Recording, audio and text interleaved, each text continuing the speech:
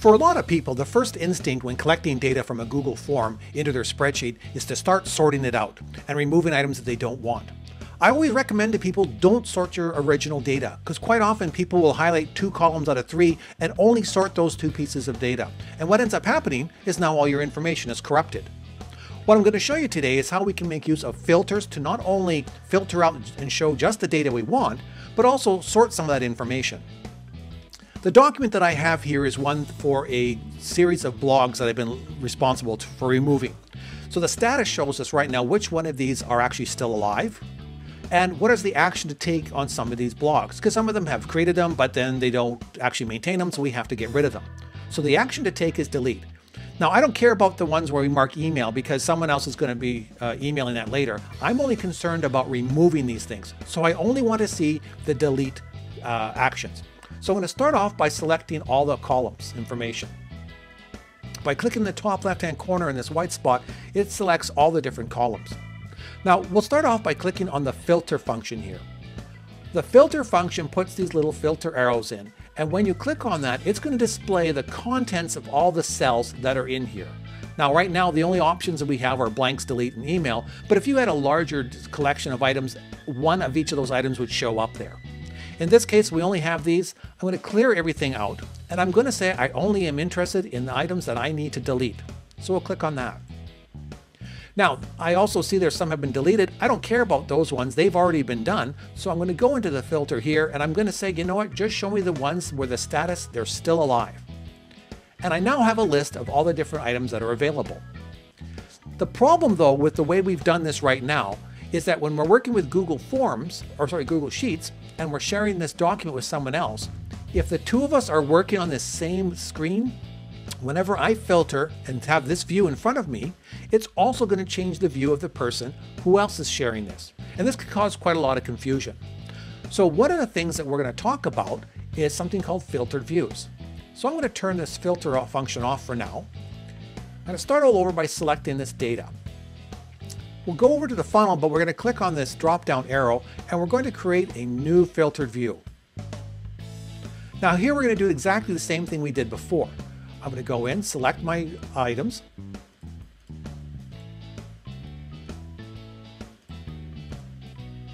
And I'm going to save this call, uh, save this as a live but need deletes. Now notice what's going to happen here when I go back and I select none. I've got all my records showing again.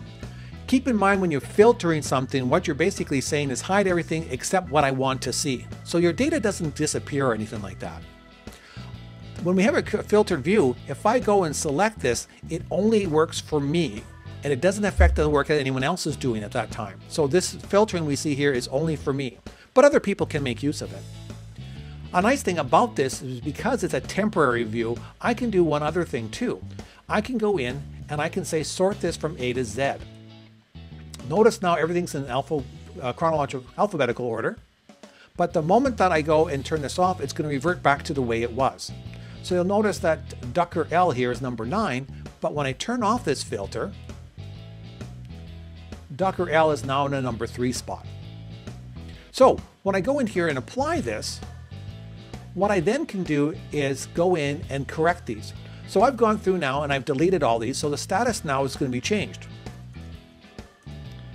I can just quickly fill down knowing that when I do this fill down here, it's only going to affect whatever rows are being displayed, not the ones that are hidden. And so when I turn that filter off, the stuff that wasn't uh, that was emailed and wasn't set to delete has not been overwritten with this file, and our our order of the stuff has gone back to the way it was. So that's a simple case of using the filters. Now let's take it something a little more advanced.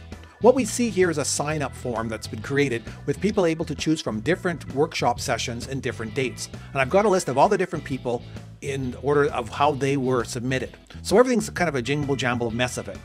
What I want to do is I want to have a listing that shows me all the different courses that happened in October. So we're just going to be sorting pretty much on the date. I'm just going to highlight the date because that's all I really need for this. I'm going, to, I'm going to go into here into my filtered view and I'm going to create a new filtered view. Now, the first thing I want to do is I only want October.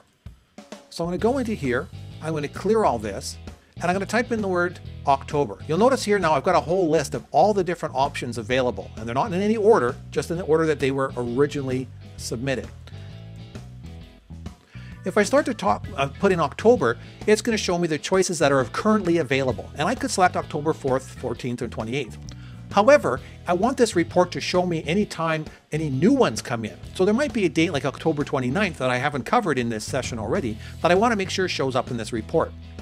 Instead of filtering by values, we're going to go to filter by condition. This is a little more advanced and a lot of people miss it, but it has got some great power in it.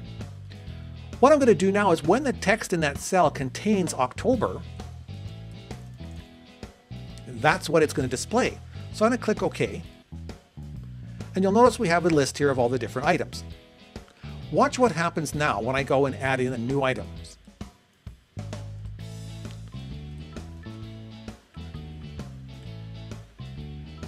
So there's my new workshop. I'm going to go back into here and hit on my filter that I've created. Notice October 29th is still in that list. If I had just done it the way we did last time, October would not have shown up because it was not one of the options that we chose from. Again, if I want to with this setup, I can also sort the information based on this. It will sort the whole thing, and everything's in chronological order the way I want it, which is really great when I want to take a list to see who's done what. I can then go in and choose none, and it brings my data back to originally the way it was.